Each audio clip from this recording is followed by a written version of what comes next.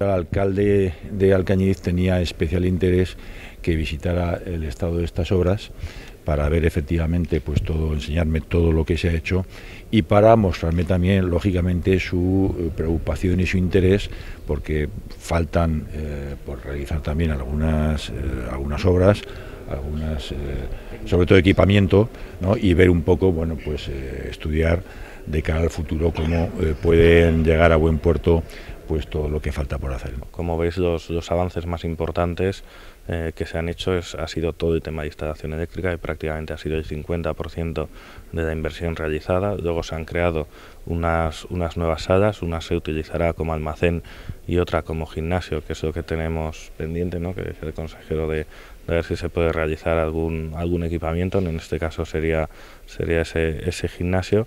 Y luego, bueno, por otro lado también ha habido eh, cambio de, puertas que estaban también bastante rotas y como también podéis ver los accesos. Los accesos a la grada superior y la, y la barandilla. Esas han sido las, las inversiones eh, más importantes. Pues yo creo que entre el gimnasio y el material que falta en vestuarios, pues con 5 o 6 mil euros se podría hacer.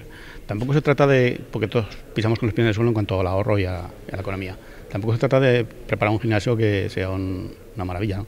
pero preparar unos cuantos aparatos para que los jóvenes de aquí del pueblo, que anoche mismo me lo estaban demandando, oye, a ver, ya tenemos ganas de... Pues sería lo, lo, lo ideal, ahora que tenemos, aprovechando que tenemos vestuarios con duchas, agua caliente y eso, sería lo ideal. Lo demás, pues algún retoque de mano de pintura y tal, y, y esto está acabado.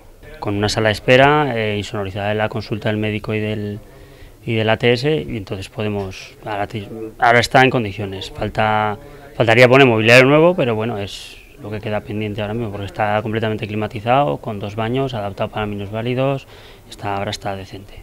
O sea, este mobiliario es el que ya estaba antes. Sí, este mobiliario es el que había antes y bueno, es, digamos ahora es lo que lo que se nota al entrar, pues que con lo nuevo y moderno que está todo, pues falta falta el mobiliario nuevo. Una actividad importante que se concentra toda en este último eh, trimestre y esa es una de las cosas que le vamos a pedir al consejero, que de cara al próximo año eh, sí tenemos que firmar algún convenio que por lo menos eh, sea en el primer trimestre del año para después poder aprobar el presupuesto comarcal pues eh, cuanto antes mejor que no lo dejemos hasta el final.